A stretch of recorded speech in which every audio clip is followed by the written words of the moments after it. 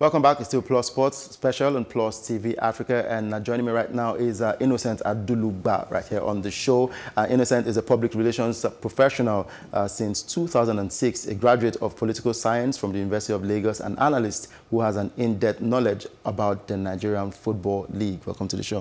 Thank you, Doka. Mm. We would like to have your um, contribution of what we've talked about um, so far on um, the Plus Sports special. Yes, listening from the side, I felt mm. very uh, freshly informed mm. from Doyin and uh, from uh, Steve.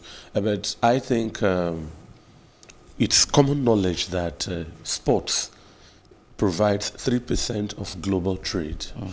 If you check mining and different aspects of economy. Mm. If sports could get 3%, it's a huge chunk. Mm. We don't look at that three as just tiny. Yeah. And he has made mention of uh, uh, individuals who, get, who rake in. Imagine somebody like Derrick Ross as well. Mm -hmm. You know, even if you come to music, Iyanya here in Nigeria gets $350,000 already. Mm. And from the law mentioned, the legal it's personal to Iyanya. It's mm. personal to uh, Derrick Ross. And uh, in Europe, it's a serious thing, mm. especially with regards to oh, breaches of these rights. Mm -hmm. Somebody like uh, Oliver Kahn got as much as 3,000 euros mm. for a breach on his uh, uh, image right. Europe uh, deals with it. They have a standard for it. Mm. Sometimes with a continental European jurisprudence, it could lead to a loss of license mm -hmm. or some specific uh, sure. fee mm -hmm. uh, attached to it. And uh, it, like in Switzerland, there is a standard. It mm. comes with the range of 10 to 20,000 Swiss francs. Mm you don't uh, like Doyin said before leaving the said uh, say someone was pardoned mm. uh, they, they, they, shown they showed remorse. Mm. No, there there are set down rules. When you breach the rules, these are the reward. Mm. I like using the word reward because sanction is a reward. Mm. You did something, you got it's a tit for tat. -hmm. It's, it's, it's, a, it's a, so the, the ten to twenty thousand uh, uh, uh, Swiss francs France. are slated in clear picture. Mm. And with regards to uh, the uh, LMC, mm. let me overflow into the NPFL per se. The way the rules are pliable mm. tells about the complexion of our uh, uh organizability and the mental makeup of the organizers, people pulling the string, strings, and why, like uh, Steve has hinted, people don't remain in the league. Mm. As soon as you're highest goal scorer for this season, you are you're, way out to yeah, it's happening. So, and the reason for that attraction, I conclude, is that there is efficacy, there's efficient rules.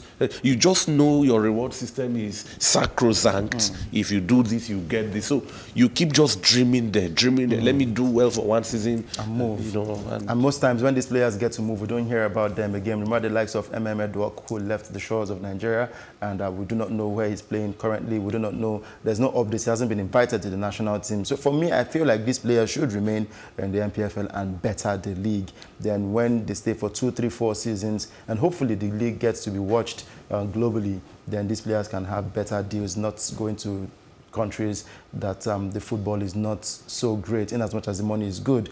But let's talk about um, employment law and the Nigerian Professional Football League. Just recently, um, our head coach, Gernot, um, it's been rumored that he got a new contract from the NFF. And of course, uh, the president of the Nigerian Football Federation, Amaju Pinnick, said that um, the, the content of the contract and um, what will be binding Gernot Rohr will be very, very stiff uh, for Gernot Rohr. Will he accept this contract? Will he not accept this contract? But let's still till down to the Nigerian Professional Football League. I'll be asking Steve now, what are the express terms in players' contracts for the Nigerian Professional Football League? Okay, thank you, Doka. Um, First of all, uh, we need to understand that the contract terms are stipulated mm. under the NPFL.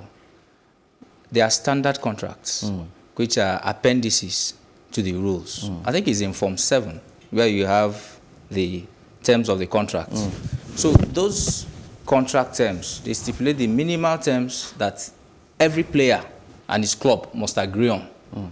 for every particular contract. Now, you talk about duration. You must specify the duration of the contract. Now, the rules stipulate because of the one of the um, spin-offs of the Bosman ruling, mm. it must not be less than three years. So they must give you a contract not less than three years. Three years. So the only exception is for minors players who are under 18 and players who, ex-internationals who have played for over 10 years. Mm. So in, in, that, in that kind of situation, the minors can get a two-year contract, whereas the ex-internationals can get a three-month contract. Now, uh, it must stipulate the salary. What is the basic salary that the player should be taking home yes. every month? Now we, are, we know, and this is an innovative approach the LMC has taken, whether mm. it is being effectively administered is a different question entirely. Mm -hmm. We have a basic minimum salary of 150,000 naira for each player. Now there have been rumors of, of, sharp practices by clubs because the LMC maintains a register of the contract of the, all the players in the league, mm -hmm. which you submit at the beginning of every season. football season. Yeah. Now, they, have, they keep these records, and part of the reasons for keeping these records is to ensure compliance with the rules. Mm. Now, have, there have been reported cases of different versions of contracts entered into. You have a different version of contract entered into with the player, which the player has been made aware of. Yeah. That, oh, yes, I know the LMC says we'll pay you 150,000 naira monthly, but what you are taking home every month is 80,000 naira. Mm. Now, this is a player who has probably been um, trolloping the entire league structure in Nigeria, yeah. looking for a base to show his talent. Mm -hmm. And of course, it's a Hobson's choice. He doesn't have any choice. They say, okay, this is either take it or leave it. He accepts it. The LFC has a record of 150,000 or even more mm. in their record, in their register. The player has a different contract arrangement. Mm. So these are the pitfalls that the LMC themselves need to really look into. Yeah. Then you have um, the issue of termination. What's, yeah. what, what, what uh, is the length of notice, notice a player and the club can give each other when they want to terminate the contract. Mm. Now, the instructive thing is that um, the LMC rules contains provisions incorporating provisions of the Labour Act mm. of Nigeria and the regulations on the status and, uh, and trans uh, regulations of players, yeah. the RSTP. Now, this uh, the RSTP um, has, but I think it's Article 17 of the RSTP, mm. where it talks about uh, termination with just cause or for sporting just cause.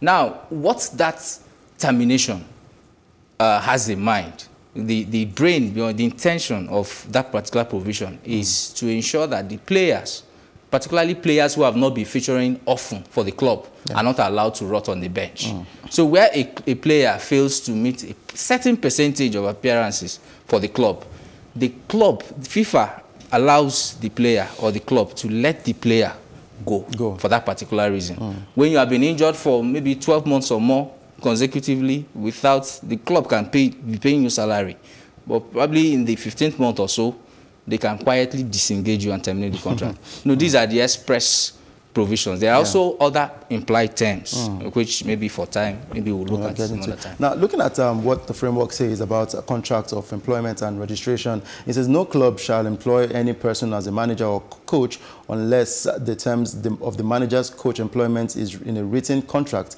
or of employment between the club and the manager of, or coach. And the manager's or coach contract of employment has been registered with the league, that's talking about the Nigerian Professional Football League. And content of contracts of employment, uh, it includes the, the relevant standard clauses set out in these rules, and it clearly set out the circumstances with the contract of employment to be determined by either party. Now, we are not supposed to see what is in the contract of these players or these coaches. Now, Rohr came out some weeks back to, it was, it was quoted that he said that he was being owed a certain amount of money. Now, the NFF came out to say that, no, you're wrong. We're not owing you this money. This is how much we're owing you. And for that, we will not renew your contract. Rumors had it that was going to be let go of. Now we're hearing that he'll be given a new contract, but the terms and conditions do not favor Rohr. What will be your response to, to that? Well, I think uh, Rohr is a very lucky coach. Mm. Yes, um, uh, in the wake of the recent uh, Nations Cup, there was a, an avalanche of sack mm -hmm. across Africa. Mm -hmm. Very, I found that appreciable and tidy. I thought African nations love to dilly-dally. but, I mean, we were all, it's, it's, it's a global thing. Yeah. In Inside three weeks, over 10 coaches Correct. have lost their jobs, including that. Uh, The river- uh, they began with uh, Eh, the- Hervé um, Renard Hervé of Renard Morocco. Morocco. Yes. That eh, uh, princely guy, let me use that word, who had to jump across, across the continent to Dubai or UAE or somewhere. You know, so Gernot Rohr is lucky he's still here. Mm. And I think presently, mm. I don't know if uh, this is foreboding news. Mm. He, he will continue to suffer like this because you came somewhere, you were a choice bride, you passed your prime, and then now you are overstaying your welcome. So I see it. So um, if Gernot survived that sack, so to speak, he- he- his job is now for me being seen as a favor or for granted because uh, NFF and uh, possibly Amaju Pinnick are back home. Amaju's romance at CAF and uh, beyond. Seen- ended, yes. yeah, so he, he he's, he's here now, and there can be only one sheriff in town. It's not a rival thing. It's not a rivalry between them, but it's who calls the shot, as it were. So, as it is, maybe in unspoken uh, body language, we are close to seeing the exit of Gernot Rohr. And so, there must be a drama that provides the episodes that gives it the befitting title to justify his exit. So you don't get to you don't get to point fingers at, at the NFF for doing something wrong. But I feel like if this happens, it will affect the Super Eagles' performance in subsequent games. Now let's wrap up with um, the one that just broke um, some days ago. It's about Samson Siasia's uh, ban, who is facing the FIFA ban, and um, news has it that he came out on social media, even on the radio station, to solicit for funds. This is one man who has played for the Super Eagles of Nigeria, has scored goals for Nigeria, he has won trophies for Nigeria. Now he needs help. The question is, um, what are the procedure, procedural requirements and chances of success of um, Samson Siasia facing this ban now? I mean, for me, sentimentally, I'll ask, where, where are his friends? The people he played with during his time in the Super Eagles of Nigeria, what happened to um, the NFF supporting him on this FIFA issue? Why does he have to come out to solicit for funds for the public to help him solve this issue? Well, um, I want to make my analysis shorn of all sentiments. Of course, I love Siasia. He's a- an accomplished footballer, celebrated athlete, and everything. But um, let's just focus on the merits of the matter. Now, what is the intention behind the FIFA Code of Ethics or the FIFA Disciplinary Code? Is to discourage as much as possible match fixing. Now, um, I, I, I look at it again from the point of view of precedent. We have a precedent of such a case in the case of Amos Adamu and FIFA. Amos Adamu was a member of the FIFA Executive Committee in 2010, as at the time he was allegedly involved in a match fixing, in a, in a bribery scandal with some undercover reporters from the London Standard Times in the UK. Now, who had approached him and um, masquerading as a, representing a consortium of a US-based American company, desirous of fast-tracking and facilitating the, the, the America's bid for the 2022 World, World Cup. Cup. So he said, they said he accepted to receive bribe. Incidentally, that same Article 11 is what Siasia was charged with and convicted. Now, there's a time frame for instituting that this appeal. Yeah. My fears for him is that that time has since lapsed. Lapsed, exactly. So for him to raise that money, probably what he can do is maybe take his chances in the regular courts, like we've done with the case of Bosman. They said you can't take football-related matters to court. No, that is no longer the law. The law is that particular provision is now qualified. There are instances where you can bring such issues to the regular courts. We saw it in the case of uh, Pechstein and uh, uh, uh, Ice Skating Union, where a lady and a, a skater brought an application in court and successfully challenged an award issued by the Court of Arbitration for Sport. So probably that is what Siasia can do at this moment. Yeah. It is sad, but that is the system we have found ourselves. And um, system we found. probably on the grounds of fair, fair hearing, because he said he, he, we never got the email Yeah, that from the- reportedly informed him of the proceeding. So, So, as as a rapper, let let me give um, Innocent 30 seconds to talk about the Samson Siasia issue, because we're out of time. I think uh, uh, Steve, Steve is very wicked to Siasia. he has hung him out to dry. Yes, we are not privy to the facts, but Samson Siasia is enmeshed. Mm. There's no denying that fact. Mm. Maybe we shouldn't even ask for people he played with. Anybody who donned the national colors is serving fatherland or mm. motherland. Mm. How much is something Samson Siasia to raise? Mm.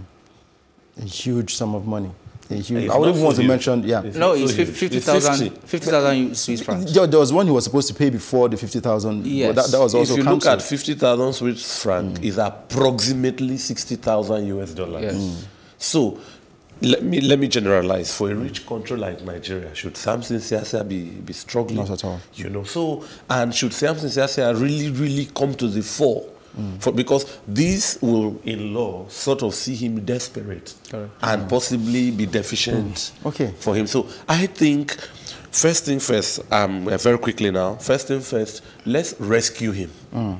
And then let him go to court and let's hear the verdict. But let it be seen that mm. we didn't abandon, abandon him. him. Yes. Exactly. We will not abandon Samson Siasia. He's our very own and we'll keep supporting him until we hear that uh, the case is a successful one and is free from that ban. I'd like to thank you guys for making it to the studio today.